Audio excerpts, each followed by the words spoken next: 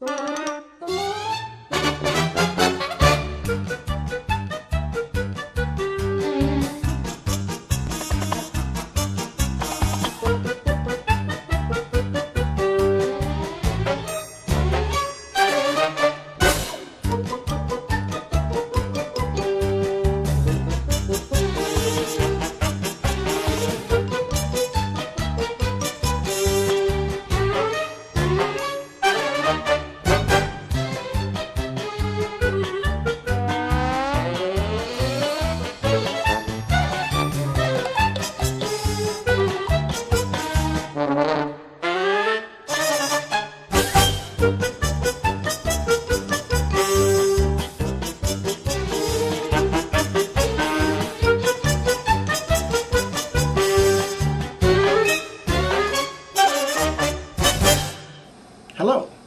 I'm Robert Black, and this is the Marlinspike Knot Works.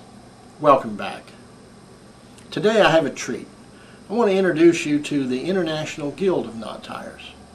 The Guild is a United Kingdom based charity who's been dedicated to the preservation of the sailor's art of knotting and fancy rope work for nearly a quarter of a century. In today's presentation, we're going to meet the Guild's co-founders, its first president, and the Guild's current president. And I'm going to take you along to a Guild meeting so you can see these beautiful knots and meet the wonderful people that make up this organization. So start out with, though, we're going to meet Geoffrey Budworth on the left in the video and Des Pawson on the right in the video. They co-founded the Guild. I caught up with them in Weston-super-Mare near Bristol, England at the Guild's annual meeting. Let's listen. I'd like to know a little bit about how we can how you guys came together and how the guild got started to begin with. Yeah. Because this was 20, Do you want me to start? 21 years ago. However, It was, yeah, it's around 1978, uh, Okay. and uh, a new knot uh, came up. Someone had found a new knot and was talking about it, and uh, I was brought in to say whether I thought it was new and whether I had ever seen it before. Uh-huh. And uh, we got a bit of publicity, and from that the letters started to come in from other people, and that's when I heard from Des. Yeah, I mean, I saw somebody phone me up. I thought they were teasing me when they said there was a new knot on the front page of the Times, and uh, did I know it? And I immediately at that lunchtime rushed off and got a copy of the Times, and immediately wrote to Geoff because in the article it mentioned those journals that are interested in knotting matters. And uh, I thought I had missed out on this. I so see. I wrote to, to, to Geoff and explained my interests, which were, were tools, books, as well as the rope work it's, itself. Uh-huh. And uh, I got a letter back very, very quickly to the effect that they were similar interests that you had, really, weren't they, Geoff? That's right. There wasn't really a journal at that stage, Right. but we quickly thought that there ought to be a newsletter or something Uh-huh. because I had the names and addresses of perhaps 20 people uh, who said they were interested in knots. And I I'd think you had some been. I'd been collecting people when I'd been demonstrating, when people had said that they were interested in knots, I'd been collecting names for the very reason my father belonged to an organisation called the Letterbox Study Group.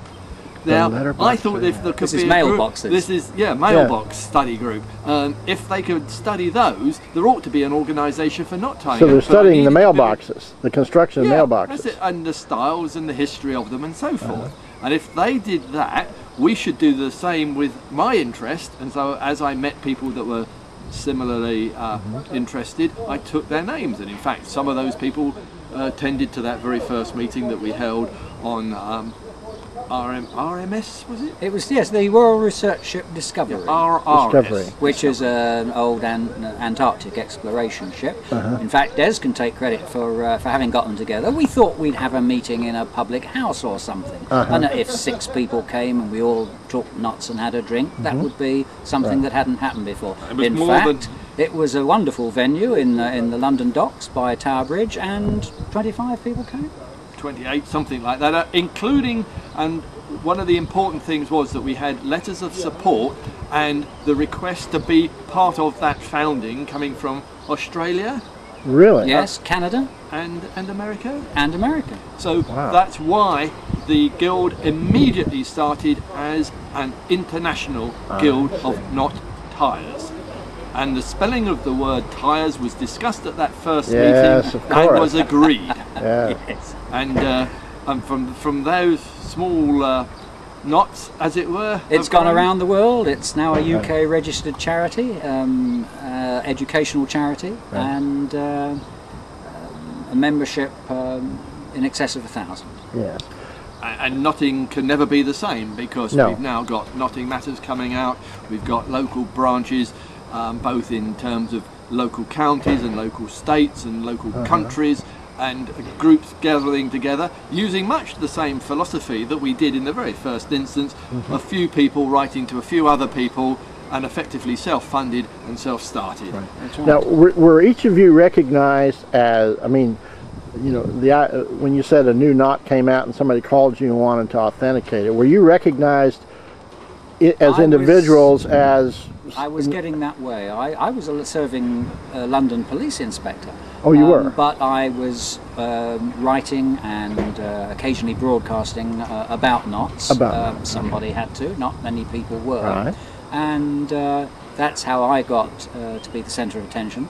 But then uh, I think it was Des in association was- with the National Maritime Museum. That- they they called right. you their expert. I mean, you That's didn't right. actually work there and, No. and anything like that. They have no experts. So you were a policeman. Yes, I was. Um, Interesting. But then, of course, Des, who at that time had another day job, was uh, had been aspiring, I think, for some time to get into the rope working business. Well, I, I, I had already got a business making rope work and selling rope work prior to the foundation of the guild. I was demonstrating and and r- running my business Footrope Knots as a as a business part time, but still on a business back, background. But if, if it hadn't been this claim of a new knot, you, you guys may never have gotten Yeah, together. Is that right? No, that's right. And the man, uh, the man who did that was was a, a retired physician by the name of Dr. Hunter, doctor Uh-huh. Edward Hunter. Yes. And uh, the knot that he had come up with, the, the Mm-hmm. press very quickly christened Hunter's Bend.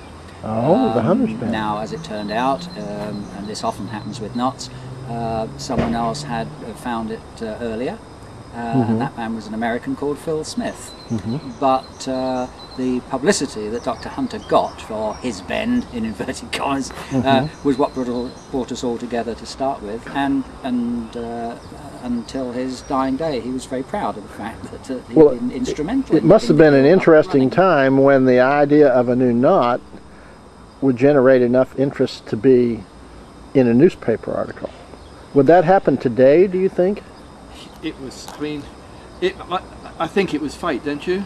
Yes, it was. And, This and was a he karmic event? He was a man who had contacts, and one of those was Philip Howard, who was uh, a leading journalist for the Times, I and the. Times ran it on their front page, Right. and uh, as a consequence, other newspapers uh, quickly copied it. Can you imagine, though, the front page article today about a new knot?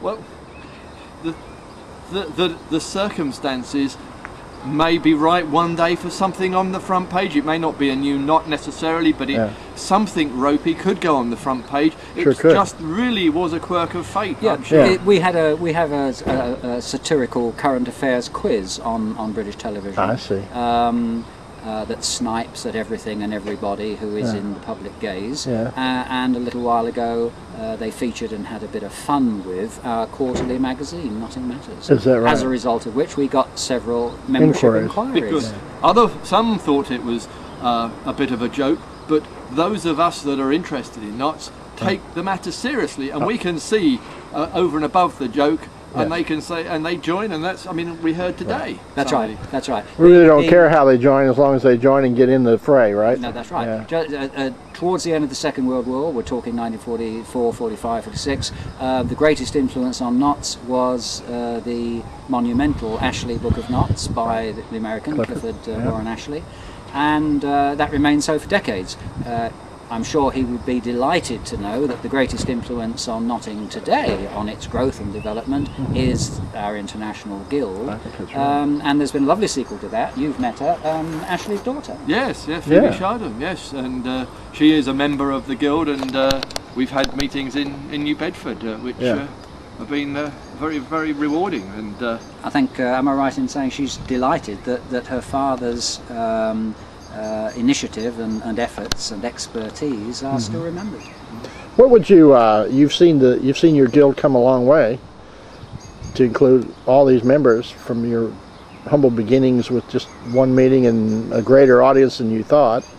And you've seen other people be presidents now over all these years. You know what what what do you hope for as you uh, as you see this grow and expand over the over the world? I think that's a difficult question to answer. That's why I asked it. yes, I, I, I have no clear-cut idea. I, I would like the guild to survive and to grow and to reach Mm-hmm. out, and that probably reach, means reaching out into um, nations and territories that uh, speak other languages than English. I think Yes. Mm-hmm. that has been a limiting factor. The French are now um, getting involved, and, and that's very welcome because they're a large country with a large number of people. Um, uh, it would be nice perhaps if, if somehow or other the knotting could spread to Chinese speaking countries, to Arabic speaking countries, to Spanish speaking countries. Um, but I'd just like to see it continue to grow and, Right. and collect more Yeah. enthusiasts. Uh, and I, I see that one of the, the purposes of the, the growth of uh, and the future is the growth of the guild and the fact that that one might say gives a stepping stone for the future generations. They don't have to start from square one. They can Right. grow on our shoulders. They can learn, and we can see the quality of work that is being done by people today, even relatively newcomers, because they, mm-hmm. they've got that flying start of Right. that body of knowledge. They're not struggling entirely on their own. Well, I know that was true for me. Yeah, Yeah. and exactly, and that's that's Yeah. one of the bonuses that people get from the guild is meeting other people's and so, not you're not in not everybody in the guild has the same interest in knots that you do, but Right. you find those people that have those fields of interest that are similar to you. I'm, I- I'm interested in in sailors. Uh, Mm-hmm. Right. Decorative and practical rope work more than, as it were, new knots. But Right. there are others that that's the thing that really turns them on. We may know less than half of all there is to know about knots. Of course. The, the preoccupation of previous generations, whether they were sailors or climbers or whatever, um, was with knots that worked and usually knots that worked in old-fashioned hairy brown rope. Right. And anything that didn't was viewed with disfavour and discarded. Right. Um, these days we're freed from those constraints. we right. can explore it for fun, um, uh, as an absorbing hobby, uh, craft, uh, for whatever reason. And uh, and perhaps today there are more scholarly people as well who are coming along uh, with a university background, with all the research benefits that brings. The mathematics who- and all of that. Sure, who can Yeah. look into this and, and tell us a lot more about how knots work and why they do what they do. Mm-hmm. And of course, there are still, coming back to what we started with, new knots turning up every year. Yeah. So it's qu- it's more than just going into a, a, a Borders bookstore and buying a knot book, isn't it? Oh, I hope so. Yeah. Yeah. I hope so. Yeah. It's, it's picking up a bit of line and having a go as well, and looking back and looking forward. I think so. Thanks for your time. That just about ties it up. You're welcome. All right.